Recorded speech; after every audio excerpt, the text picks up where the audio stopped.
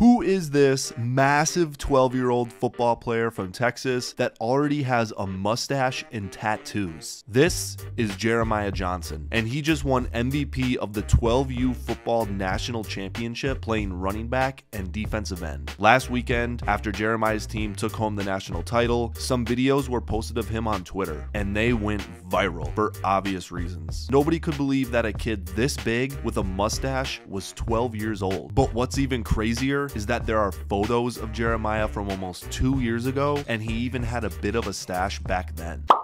On the field, he absolutely dominates both sides of the ball. As a D end, he simply bull rushes his opponents and sacks the QB more often than not. As a running back, he is impossible to take down. On this play alone, he easily runs through six defenders. So what do you think? Should Nick Saban make the call?